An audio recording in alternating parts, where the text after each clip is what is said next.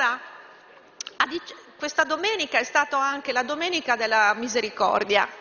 Ecco, ci sono state apparizioni in questi secoli della Madonna in tutti i santuari della misericordia. È una vocazione che ha sempre ispirato l'azione dei governanti è stata quella di dire misericordia e non solo giustizia.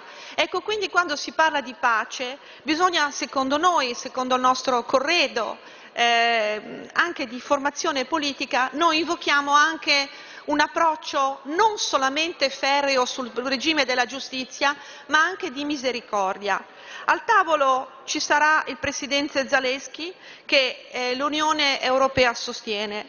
Bene, noi pensiamo che anche il documento della Cina, che rappresenta un documento di posizionamento della Repubblica Popolare, possa essere un passo da valutare nelle sedi più opportune. Il Presidente Putin ha detto di apprezzare la posizione cinese, ci sono però degli aspetti reali che in questo momento rendono impossibile il negoziato.